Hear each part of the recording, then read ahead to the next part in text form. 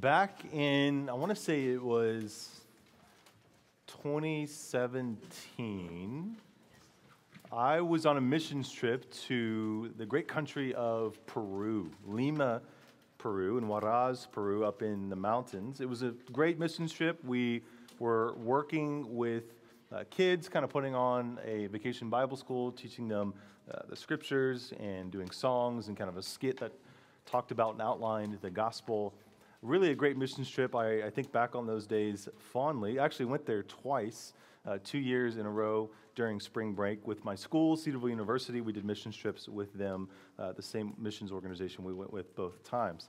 But I remember when we were there the first year in 2017, we were at this water park.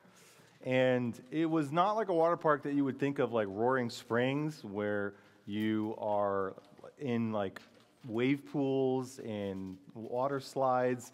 It was literally a water park. Like there was just fountains and lights and music. It was water in a park. So there was no rides, but there was a lot of people there. It kind of felt like a fairground. And there was this, it was late at night. It was kind of like the grand finale. And there was this big waterworks show. Like I said, with this, these in sync lights mixed with music that was in Spanish that we didn't understand, but it sounded really cool. And all of this, these water features lit up uh, in the dark. It was truly, it was fun. It was something I hadn't really been to in that manner before. I mean, I, I've never driven to a water park that was just water shooting out of the ground and me watching it uh, for that purpose. But I thought it was cool. We were in Peru, part of our uh, mission trip. So I was standing there. There was kind of like this white fence around the big fountain area. And I was standing there, and the show starts, and there was this family, this mom and this little boy, that kind of pushed their way through the crowd, and they were standing right on my left hand side. So there was this little boy right here on my left hand side, right next to me. And as the show starts and the lights start going off and the music starts playing, this little boy is having the time of his life. I mean, he was so cute. And I remember he gets to the fence and he's standing on the fence, like barely can look over. And he kept saying in Spanish, Mira mama, mira mama, like over and over again. Everything that he saw, every color, every uh, time that the water would shift and change, he was just just captured and captivated by what he was seeing. And I remember just looking at that and just enjoying it, enjoying someone else be captivated by something that was beautiful. It was uh, colorful and it was fun and there was choreography and music. And like I said, all of these things coming together, surrounded by friends and family. It really was a beautiful moment. And this kid was having the time of his life. He was captivated. Now, I want to imagine that some of you being at a water park that was just uh, water shooting up and colors being strewn across the water and music playing in Spanish that you didn't quite understand. Uh, there might be a possibility that rather than being like this little boy next to me who was captivated by the show, you'd probably be on your phone, texting with your friends, on social media. None of you here, maybe, but someone your age, right? Being on your phone, really not caring about what it was that was in front of you. And, and if we're honest, I'm sure there's been at some point somewhere that you've been where your parents are like, hey, pay attention. Hey, I want you to see this. I want you to look. Hey, I want you to enjoy the moment. And you're kind of like, uh, I'd rather, whatever's going on on my phone, I'd rather look at that rather than this moment. So you've got these two distinct responses. You've got this little boy that this is like the first time he's ever seen anything like this, and he's amazed by it and captivated by it. And then there's another response, perhaps, that's like, uh, I don't really care. I've seen this before, or it's not interesting enough, or it's not catching me or captivating me quite in the same way, perhaps, as a young kid who hasn't experienced something like that before.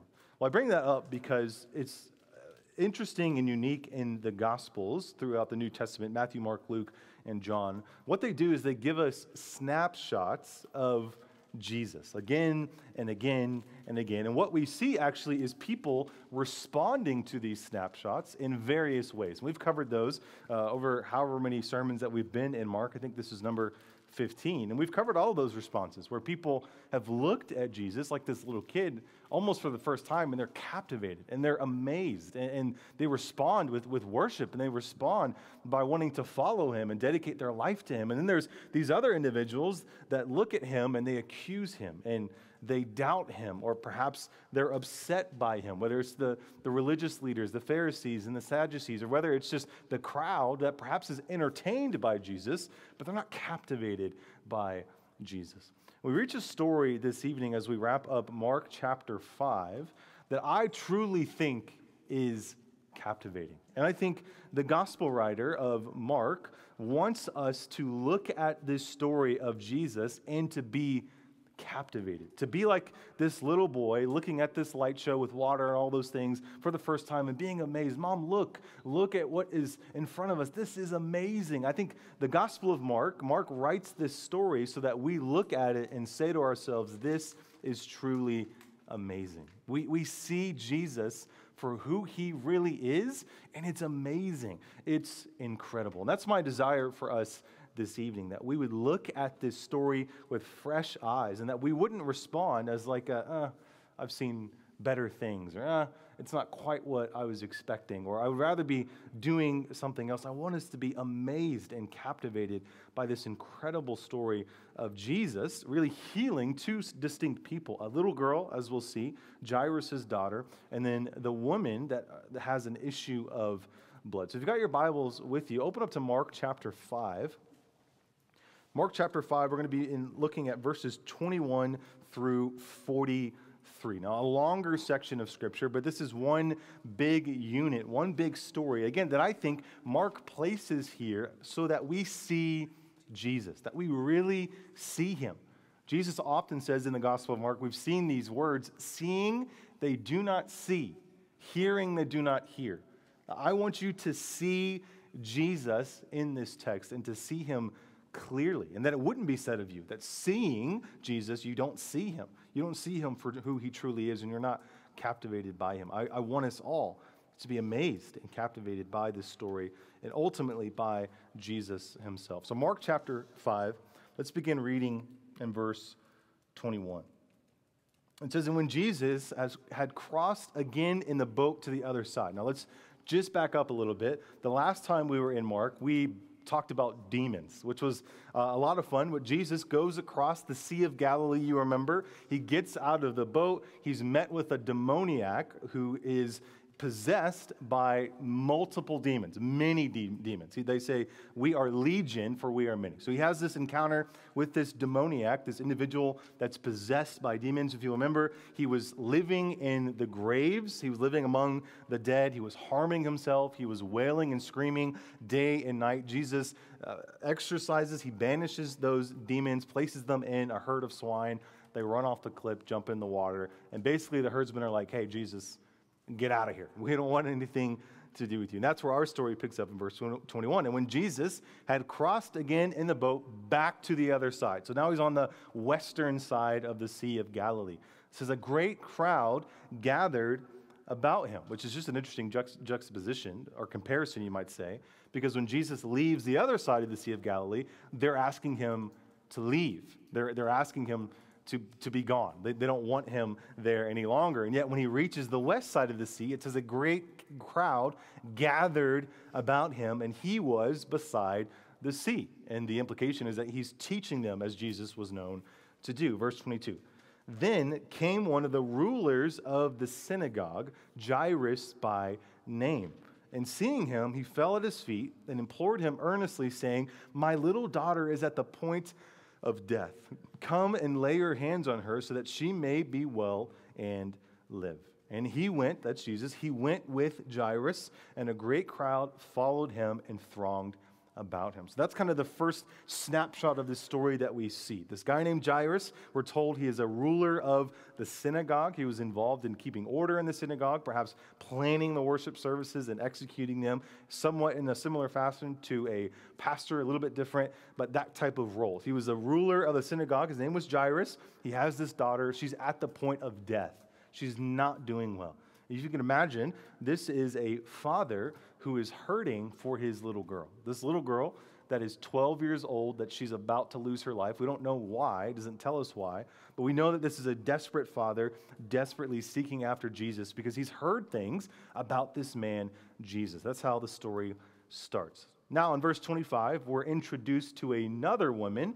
Well, Jesus is on the way to Jairus' house to help with his little girl. Look at verse 25. It says, And there was a woman who had had a discharge of blood for 12 years, and who had suffered much under many physicians, and had spent all that she had, and was no better, but rather grew worse. And now we don't know what this blood issue was. Some people think it was some sort of internal hemorrhage. Uh, but regardless, she was literally bleeding, whether it was on or off or every day. Again, some of those specifics we aren't told, but she was bleeding pretty much constantly for 12 years straight. I mean, imagine just how terrible that would be. So there's this woman who's in this intense situation. It has a discharge of blood. She's got this internal hemorrhage of some sort, of some sort, bleeding almost every day, day in, day out, week in, week out for 12 years, and who had suffered much under many physicians. She's going to the doctors. Hey, can you fix me? And they're not helping. It says it had spent all that she had. All of her money and her resources are gone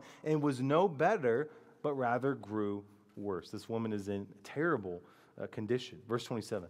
She, this woman, had heard the reports about Jesus and came up behind him in the crowd and touched his garment. For she said, If I touch even his garments, I will be made well. She knew and, and, heard something about Jesus, of his power, of his miracles, of his teaching. She was so desperate and perhaps so confident in this man, Jesus, that he had so much power. She's saying to herself, even if I touch his garments, if I just get close enough to him, the power of Jesus, I will be made well, is what she says in verse 28.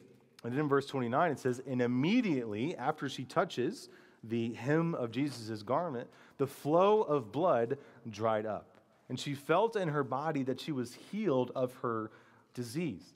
And Jesus, perceiving in himself that power had gone out from him, immediately turned about in the crowd and said, Who touched my garments?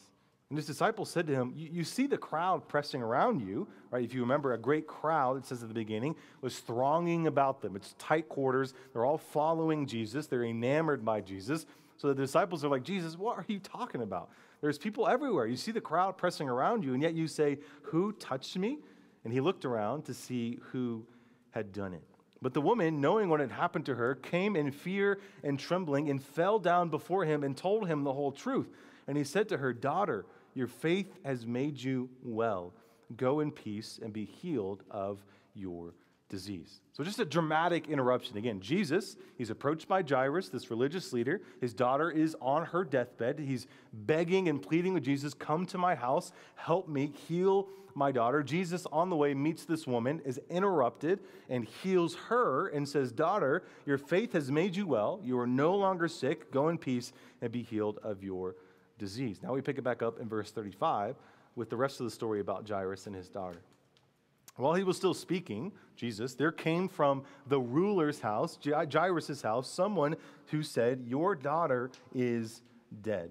Why trouble the teacher any further? So while Jesus is interrupted with this story of this woman who has been bleeding for 12 years and she is healed because she touches his garment, it says the little girl who Jesus was on his way to heal uh, has died. She's lost her life.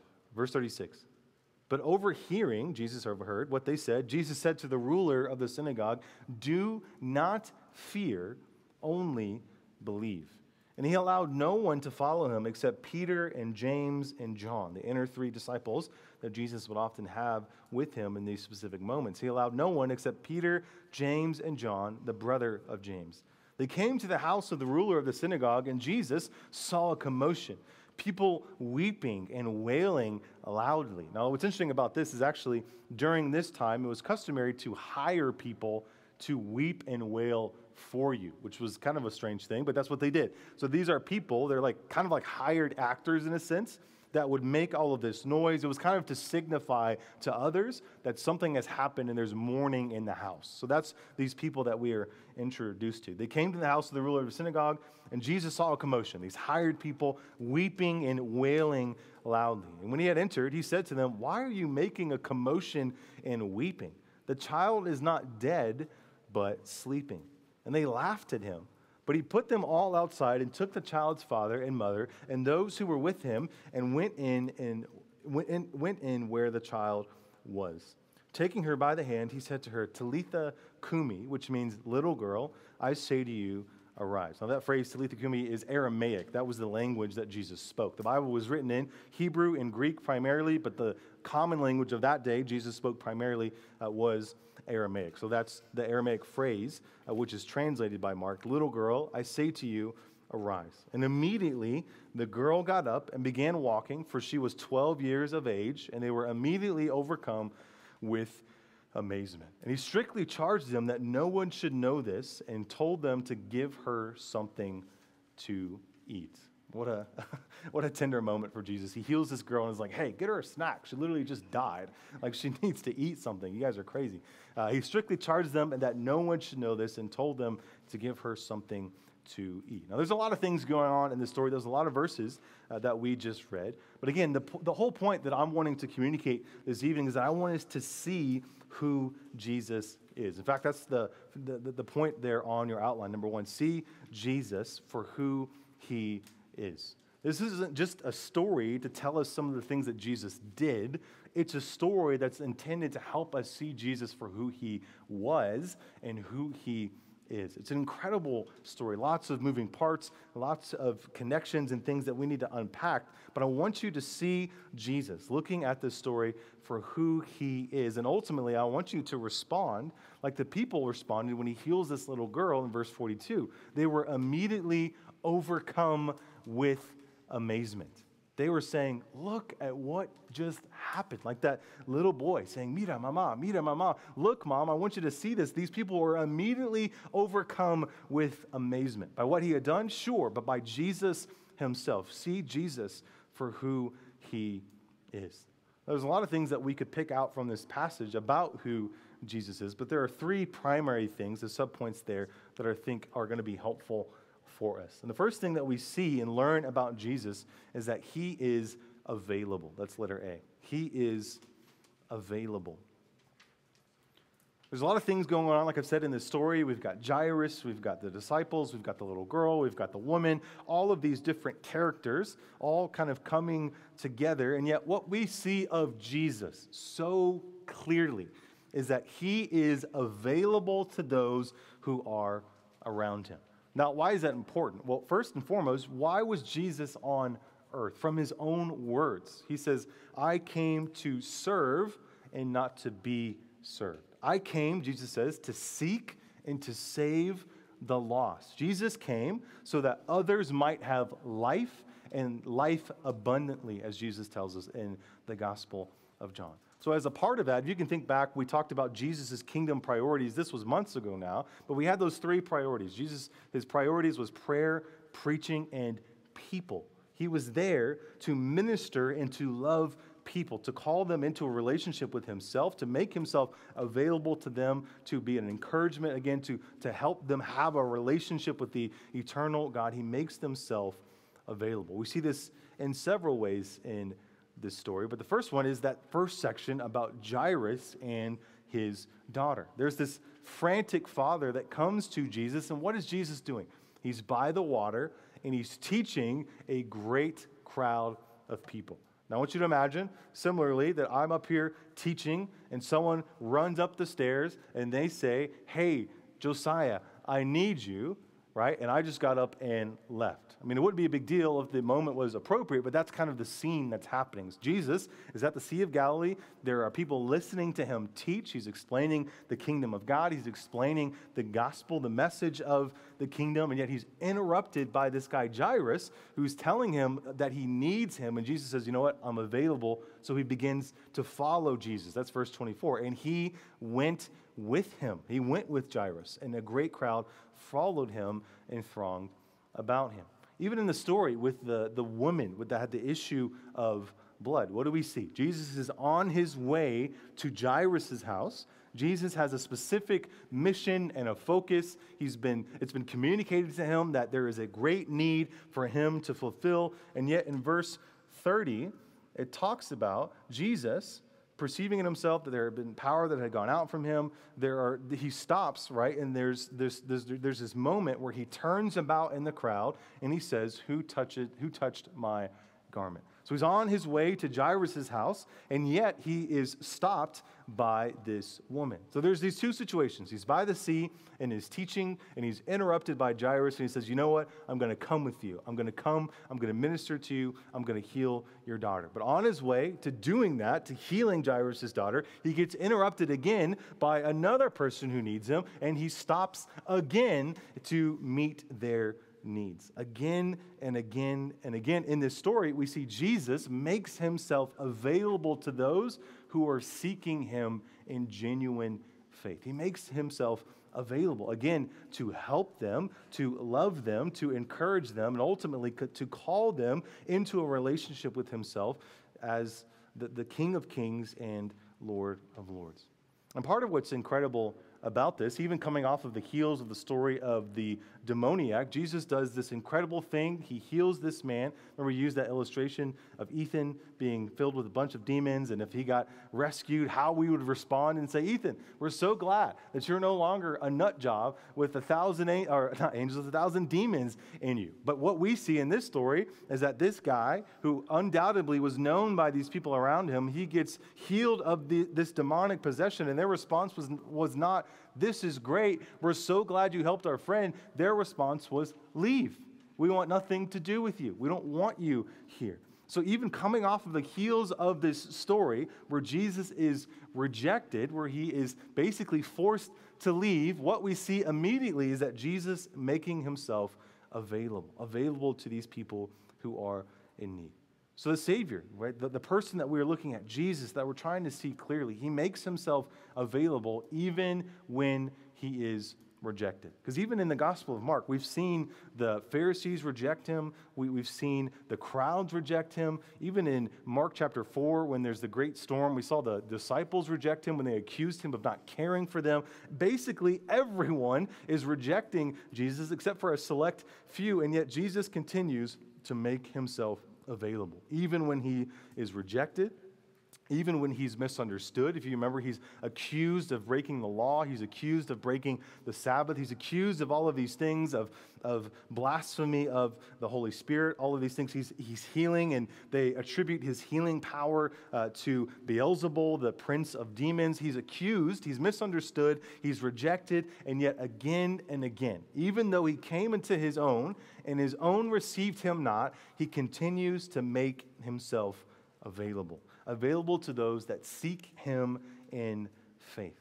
This is incredible. Think about this in your life. Think about the people in your life that have rejected you, that have uh, perhaps misunderstood you. Perhaps they have accused you. What has been your response to those people? I know my temptation is not to make myself available to them, it's to actively perhaps ignore them or avoid them or to be awkward around them, right? Because there's this tension in the air. And yet, Jesus, despite all of that, despite people and humanity in general accusing him, rejecting him, and misunderstanding him, he makes himself available again and again for those who seek him in faith. It's an incredible part of this story. So that's the first thing that we see that Jesus makes himself available. The second thing that we see about Jesus is that he truly is powerful. That's letter B. He is powerful. Now, I titled this sermon, Jesus, Lord of Life.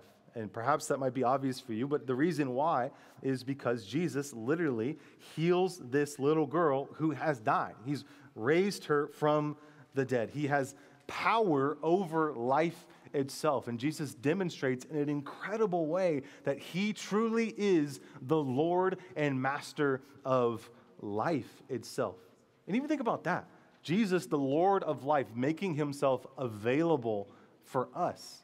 That's kind of the idea of even that psalm that talks about who is man that you are mindful of us. Who am I that the king of the universe, that the one who sustains the universe by the word of his power, who am I that he would make himself available and would utilize his power for my good? That's what we see in this story the power of Jesus on full display.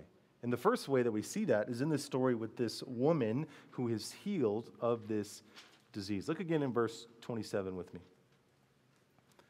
Mark says she had heard the reports about Jesus and came up behind him in the crowd and touched his garment. For she said, I, If I touch even his garment, I will be made well. And immediately the flow of blood dried up, and she felt in her body that she was healed of her disease. After 12 long years of trying to fix the problem, of going to see the doctors, of spending all of her money and her time and her energy after all of this time of not getting better, but rather growing worse, Jesus does in an instant what no other doctor could do over 12 years. One moment with Jesus undoes, undoes all of that 12 years of pain. She is healed. And immediately it says the flow of blood dried up. She felt in her body that she was healed of her disease.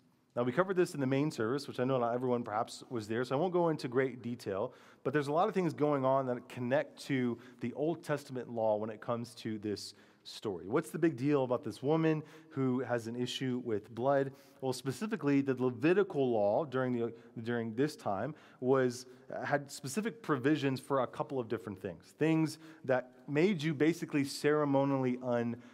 So, a, a woman that had this discharge of blood was ceremonially unclean for the days that she had that impurity. This comes from Leviticus 15, verses 25 through 27. It says, if a woman has a discharge of blood for many days, not at the time of her menstrual impurity, or if she has a discharge beyond the time of her impurity, all the days of the discharge she shall continue in uncleanness, as in the days of her impurity. She shall be unclean. Every bed on which she lies, all the days of her discharge, shall be to her as the bed of her impurity. And everything on which she sits shall be unclean, as in the uncleanness of her menstrual impurity. And whoever touches these things shall be unclean, and shall wash his clothes and bathe himself in water and be unclean until the evening. Now, there's a lot of stuff going on in that passage, but here's what's important for us to understand. There's this woman that approaches Jesus, and by Levitical law standards, she is ceremonially unclean. Again, I don't want us to get lost in the weeds of all of this. What you really need to understand is that the purity laws, the, the ceremony laws, were intended to highlight the holiness of God in comparison to the impurity of the people of Israel. Because what we find again and again in Scripture is that the purity of God's holiness and the impurity of man's sinfulness are completely at odds. And so the ceremonial laws, in that sense, being clean versus unclean, were meant to highlight that we are sinful people who are unclean in the eyes of the Lord. And that was not just women, that was men as well. So there was all of these laws that were meant to highlight that, that we are sinners that are unclean, that are in desperate need to be washed by the blood of the Lamb. And that's the woman that we find in this story. She has had this condition, this condition of bleeding for 12 years that has made her ceremonially unclean. So that means everything that she touches, everyone that she touches, that they become unclean. And as a Jew, that was something that you actively avoided. That was something that you didn't want. So if you can imagine, this woman, she loses perhaps her home, she loses her friends and her family, her community. She loses all of these things and she is desperate. She spent all of her money. Uh, she's been isolated from community. She's separated from all of that and she's in this place of desperation. And what does Jesus do?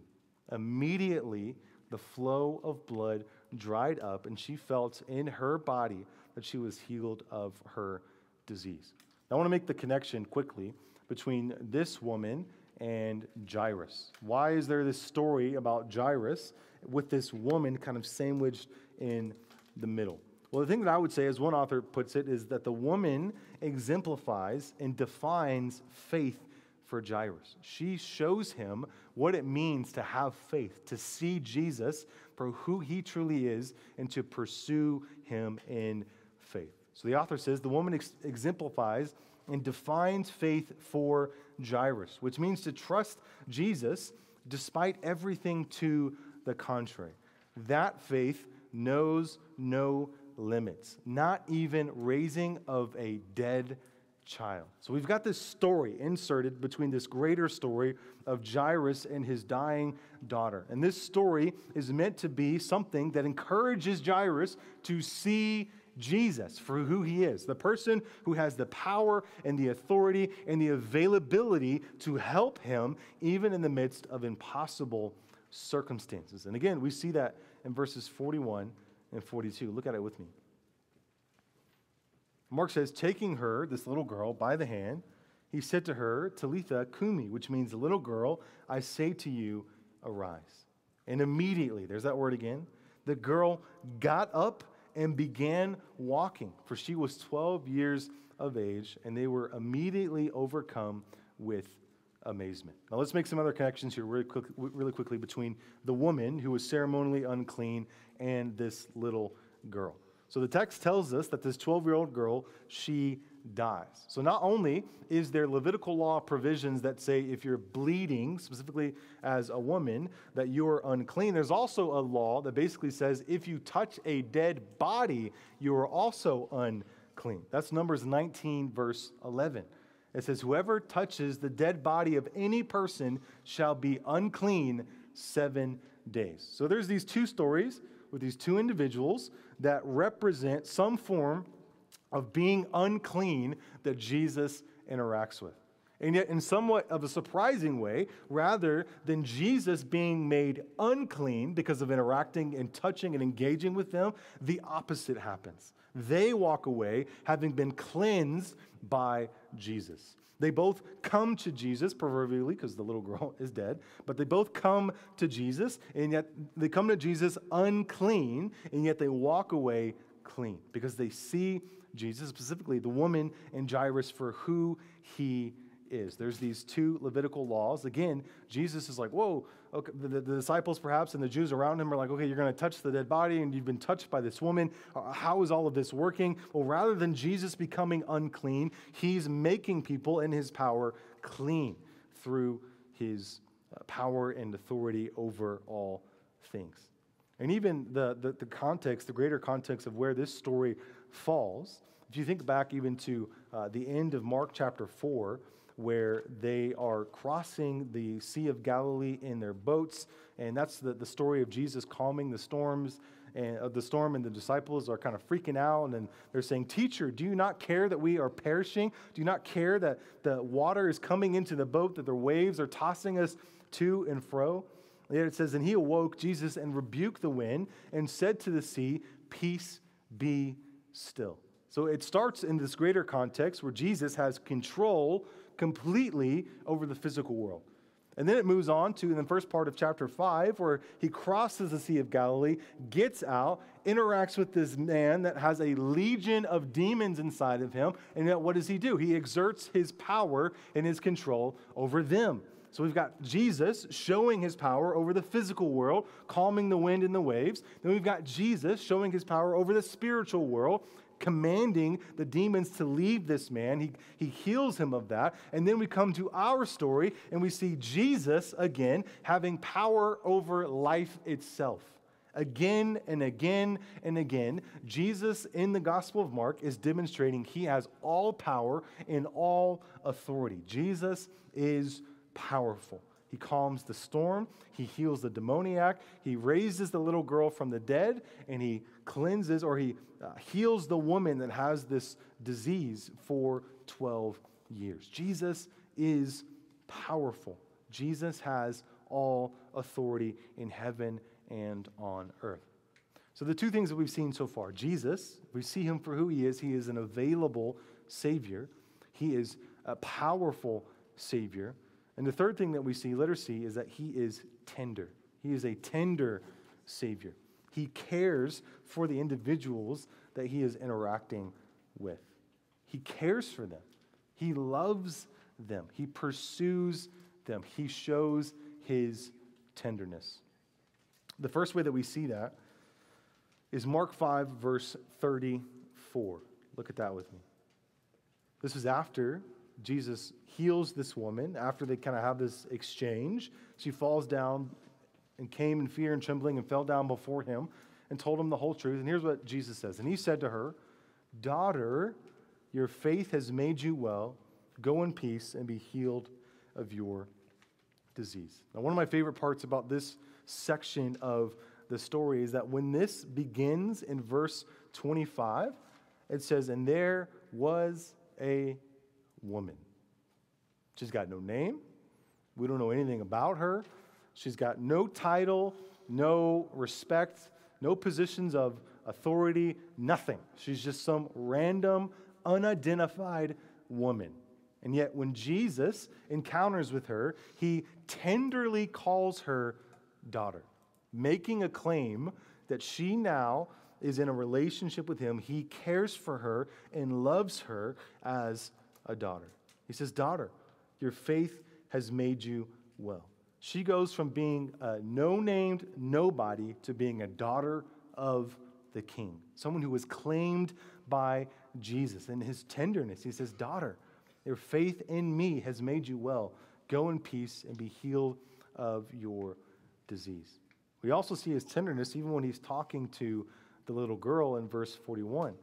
He says, Taking her by the hand, he said to her, Talitha Kumi, which means, little girl, I say to you, arise. Now, the way that this is written in the original language, there's a, there's a subtle sort of tenderness. It's, it's almost fatherly. Jesus comes in, he's exp- expressing concern, he's slowing down, even taking her by the hand. It's sweet and soft and, and subtle. He's showing his tenderness and his love for those who are in need. Even later on in the Gospel of Mark, it talks about how Jesus had compassion on the crowds because they were like sheep without a shepherd. Again and again, we see the tenderness of Jesus to slow down, to make himself available, to utilize, to wield his power, to help other people, to rescue them, to redeem them, to heal them, to raise them from the dead. Incredible to help them to see that he truly is the Messiah, that he is the king. Now, to conclude all of this, I want us to compare and contrast Jairus and the woman, because I think this is really important for us. When we're first introduced to Jairus, we are told that he is a ruler of the synagogue. So I just said, when we were introduced to the woman in verse 25, she's got no name, she's got no title, and no identity. So immediately, we've got this ruler, this man of authority, this man of esteem, versus this woman who is a nobody that doesn't have a name, that doesn't have a position. We've got this Jewish leader who's representative of people who are quote unquote on the inside. And then we've got this woman who is unclean, who represents people who are on the outside. Now, what's the point of all of that? Well, this story teaches us that regardless of Jairus and his position, or this woman or her lack of position, they are both the same at the feet of Jesus. That's what this story teaches us, because they both end up in the exact same place. In fact, Jairus in verse 22, it says he came to Jesus and he fell at his feet. In verse 33, the woman, when she came to Jesus, she fell down before him and told him the whole truth. The, the beauty of our Savior is that no matter your background, title and esteem, or someone who is obscure and a nobody, we all come to Jesus and we are all the same before the feet of Jesus. There's a beautiful truth that this story displays. Now, let's talk even about the woman for a second and the little girl. The woman we saw was sick for 12 years. The little girl died. How old was the little girl? She was 12. Now, do you think the author of this story was random in her being 12 and the woman being sick for 12 years? The answer is no. There's no random details in these narratives, in these stories. The woman was sick for 12 years. The little girl died after living for 12 years. So, what's the connection? Well, figuratively speaking, because this woman was ceremonially unclean, because she was separated and isolated, this woman was basically living as a dead person, right? For years. All of her relationships, all of her contact, all of these things, it was as if she was dead for 12 years. She couldn't go to the temple and worship, she couldn't offer sacrifices, she couldn't touch her friends or family, or they would be unclean. This woman basically was living as a dead person for 12 years. And in reverse, the little girl who had had 12 years of life, she loses her life after 12 years. We've got this great reversal where this woman, the living dead, suddenly is alive, and we've got this little girl who was living for 12 years and suddenly is dead. Now, what's the point in all of that? Well, this story teaches us that no matter the background, no matter the problem, no matter the, the thing that seems seemingly impossible for Jesus to overcome, no matter what the circumstances are, Jesus provides new life. Whether it's this woman that's been living as a dead person figuratively, figuratively for 12 years, or this little girl that had 12 years of life and then lost it, Jesus provides new life through his power and authority. This is an incredible story about an incredible Savior that came to seek and to save the lost. He made himself available. He demonstrated his power and used it to help people physically, but even more than that, spiritually, to invite them into a relationship, to give them the gift of eternal life. And he expresses his tenderness again and again. Someone who demonstrates his compassion for us who are lost like sheep without a shepherd. We need to see Jesus. That no matter, again, whether we have titles and respect and authority or whether we come from a background of obscurity, we are all the same at the feet of Jesus. No matter the background, no matter the problem, Jesus provides new life because Jesus himself is the Lord of life. Let's pray together. Father, thank you for the picture of Jesus that we see so clearly in this story. Father, I pray for the students here that we would respond truly with amazement, that we would be captivated by our Savior, that we would see him for who he is, that we would dedicate our lives to follow him, that we would love him, that we would treasure him as the King of kings and Lord of Lords. So, Father, I pray that as we go into discussions now, that they would be fruitful and encouraging and glorifying to you. In Jesus' name, amen.